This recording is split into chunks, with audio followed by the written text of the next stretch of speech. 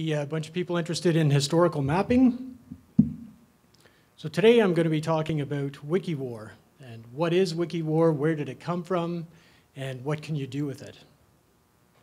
To understand WikiWar, it helps a little bit to understand me. Uh, so I'm Bert de Bruin. I was seven years in the Canadian Infantry.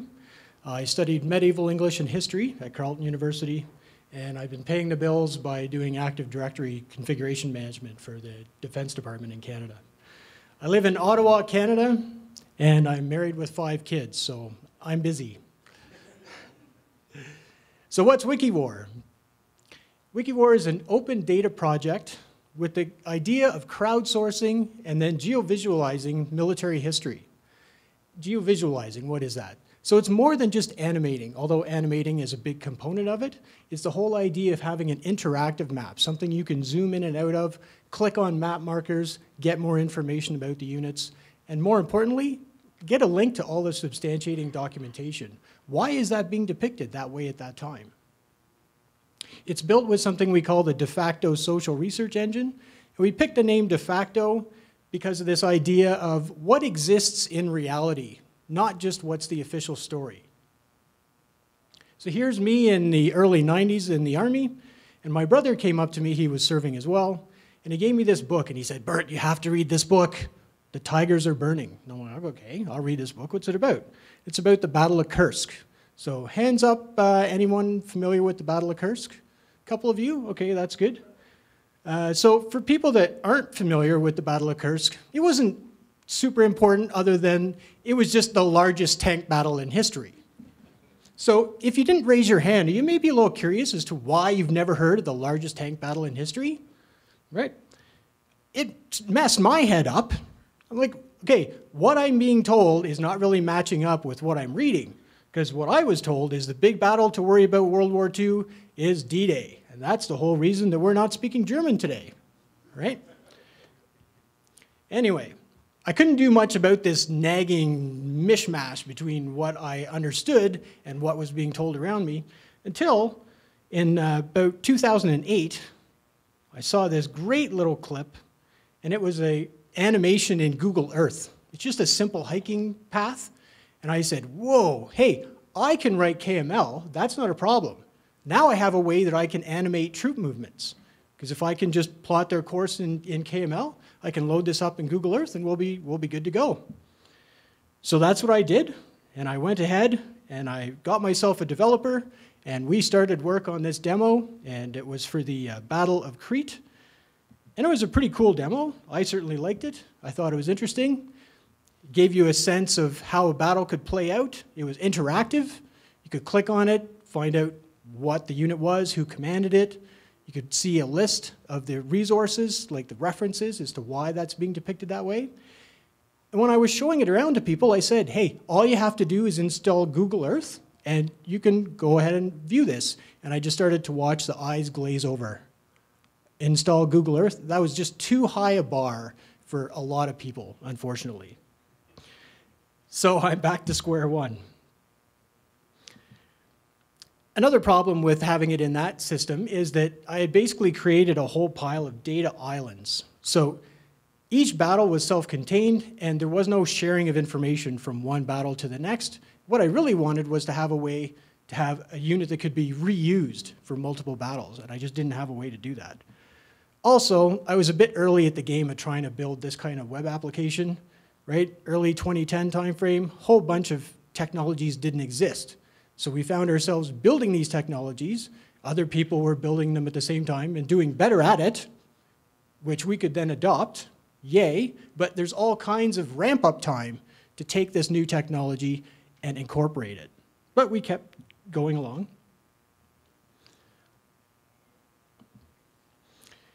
Thankfully, it was around 2012 when I was introduced to Dr. Robert Warren, from the Muninn project, and he was the one who introduced me to Open Historical Map. Uh, anyone familiar with Open Historical Map out there? A couple of you? Okay, that's good.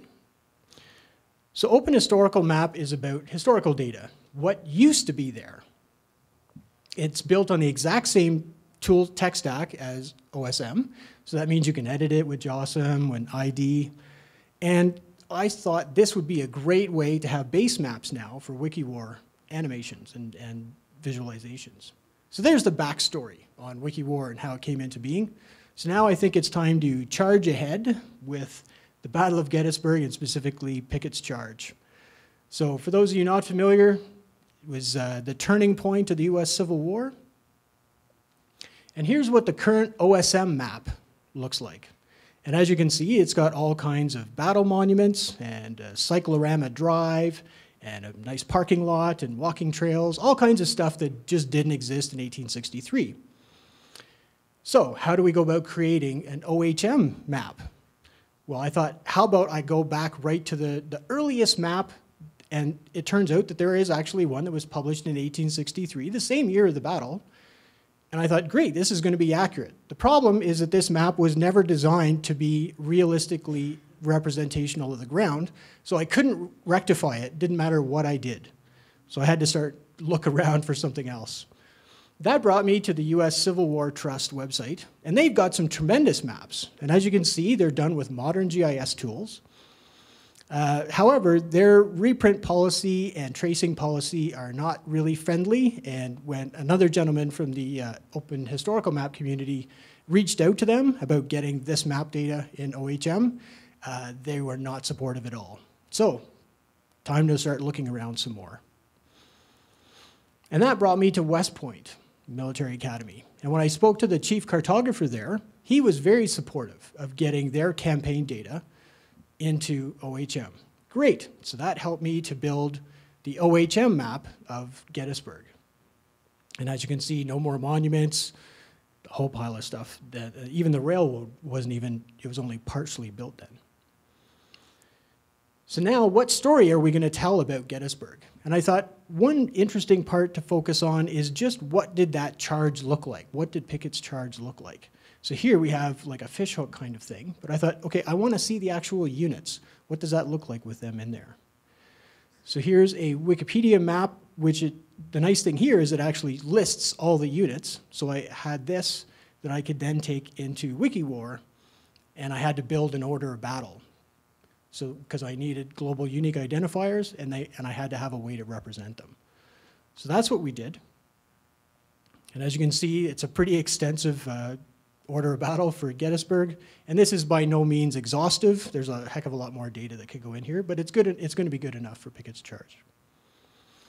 Then we had to trace where the units were and where they went. And this is what Pickett's charge can look like when you have all the units mapped. You have an actual uh, identifier for them. So it sort of ch it changes things to have a flat map and then to actually watch it animated. And here again, you can see you can hover over units and find out who which unit they were.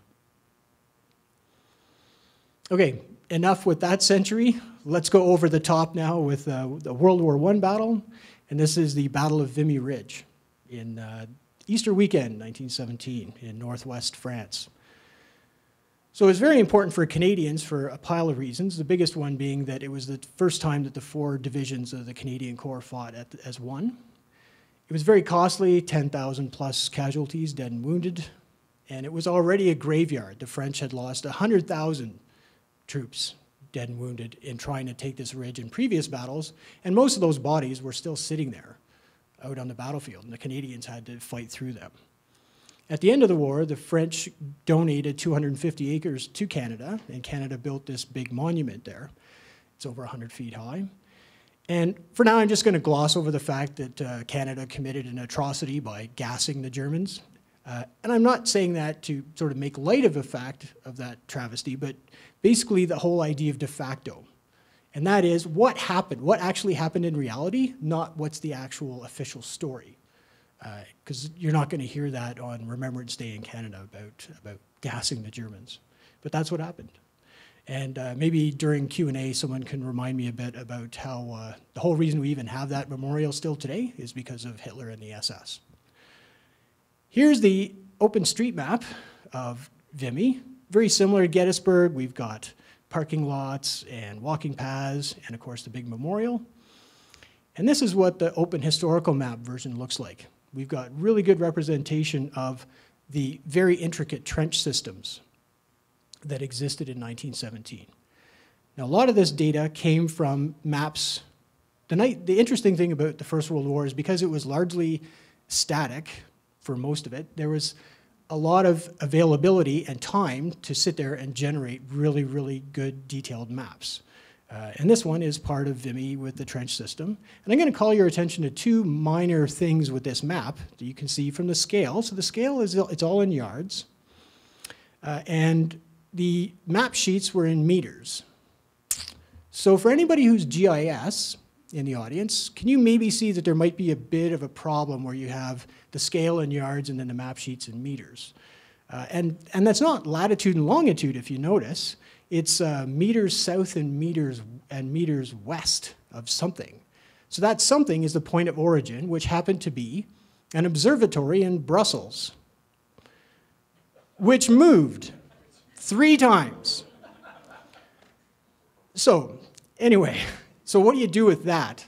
So, uh, Dr. Rob Warren, my friend there, he actually built a trench map converter. So, once you can actually plot a location of a unit, then you can feed it into the converter and you can get it into a modern projection. So we go to the official history. Uh, this is called the Nicholson map, and it lists all the brigades and battalions of the Canadian Corps. And part of the reason this battle was successful is that it, there was an intricate barrage plan for artillery that was plotted out in advance. And it, it, was a creeping barrage. So the artillery fell basically right in front of the troops, and then it just walked forward. And this is what the barrage map looks like. So for WikiWar, we get the unit movement from the Nicholson map, and then we take the barrage map and plot out what, what the actual uh, the artillery barrages look like. And then you can see also we had to include the timing as well. And this is part of what that looks like when it's animated. And when we zoom in, you can actually see them going through the trench system. And clearly the animation is rough. It, there's a lot that can be improved, but I think you get the basic idea of having an animated system where you can watch units progress, see the artillery falling in front, and then them continuing on. And again, you can click or highlight over top of them to get more information about the units.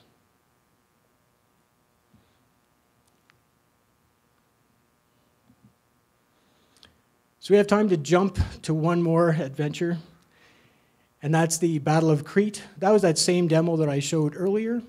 So this was in uh, 1941, just before the invasion of Russia. It was mostly New Zealanders and Australians defending it. Uh, and the person who planned it, uh, General Student, he later called it the graveyard of the German airborne. They took the island, but at enormous cost, and that was the first and last time in the Second World War that the Germans made mass use of airborne. So for this one, we're just going to use the OSM map of the Maleme sector. And the reason I chose Maleme is because I like to focus on critical decisions in military history. And this was one where the critical decision was to withdraw from the airfield, and that wound up costing the New Zealanders the entire position. And that cost the British the entire island. And this is what that map looks like animated. So it's a bit different than the one you saw in Google Earth, but the nice thing about this one is it runs on your phone, it runs on a tablet, runs on your desktop, and all you have to do to look at it is be sent a link. And that's a low enough bar that most people can, can manage and deal with. And there's maybe one more adventure we can talk about, and that's potentially the one that involves you. So we're currently in early alpha trials. So uh, this today is the first time we're opening it up to public access. Uh, maybe you're interested in unit data and unit movement. Um, perhaps you're just interested in learning a bit more about OHM and how that could fit in. Uh, if you're a developer, we've got a whole pile of uh, issues with OHM that we're looking to solve, uh, like how to deal with uh, source and provenance data, uh, or maybe you're more interested, if you're a developer, in our de facto social research engine or with uh, MapStream. That's how we generate the animations. There's no doubt in my mind, though, that we can achieve some pretty amazing things. And I'm wondering if anyone has any questions. Yeah? Uh, there's going to be a birds of a feather about his. There's going to be a birds of a feather about uh, historic mapping uh, at three. If anybody's interested, Thank you. if, if you can come too, that would be I awesome. absolutely will be there. So, question for you. Yes. If you have two battles Yes, that occurred maybe years apart in the same location, yes. have you encountered that? And if so, how do you resolve that? Sure. So, uh, a couple ways. One is is time based. So if they occurred at different times, then that's not a problem at all. Um, the nice, the interesting thing is to be able to have both of them uh, play potentially side by side.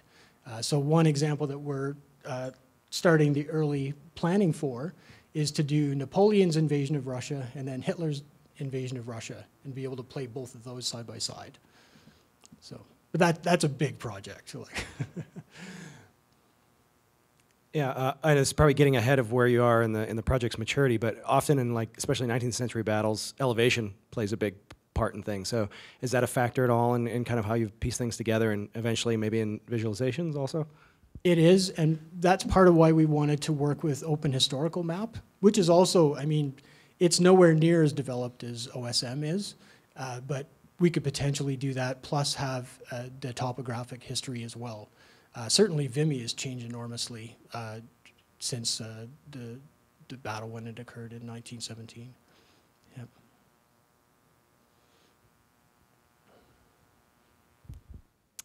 Uh, thank you for the talk. Uh, you mentioned about um, uh, Hitler Memorial. Can you expand on that uh, topic during your uh, talk? Sure. So, he's not a plant, really. Um, so, the, what happened, of course, is that the Vimy Memorial was created in 1936, and in 1940, Hitler was in France. Uh, and there was all kinds of stories circulating by the Canadian government that the Germans were uh, damaging the memorial. And Hitler actually liked the memorial because it was peaceful. It wasn't big stacks of cannonballs or anything of that nature. And he took his whole staff there eh, to show that the, that the memorial was still intact. And then to make sure it stayed preserved, he stationed uh, a unit of the SS for the duration of the war to make sure that nothing happened to the memorial. Because the German uh, Wehrmacht, regular troops, had a real beef against any of the powers that had previously insulted them, like the Australians in World War I. And the Germans actually destroyed every Australian war memorial to World War I. So it was a real, a real issue. So yeah.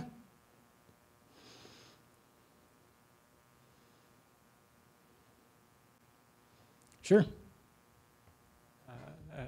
I have a question. I'm really interested in X-ray maps. My favorite subject is X-ray, geology, geography, climate change. Now the map animated using which, which software you're working, what software you're working, which software. Yeah, so this is a uh, software that we produced. It's uh, the WikiWar platform is one that we produced. It's very different from OpenStreetMap. It's very different. Uh, yes, it's different, but we because we use uh, Open Historical Map for our base maps, Oh, right? Okay. Then we can use that same tool set to create whatever maps we need to. okay.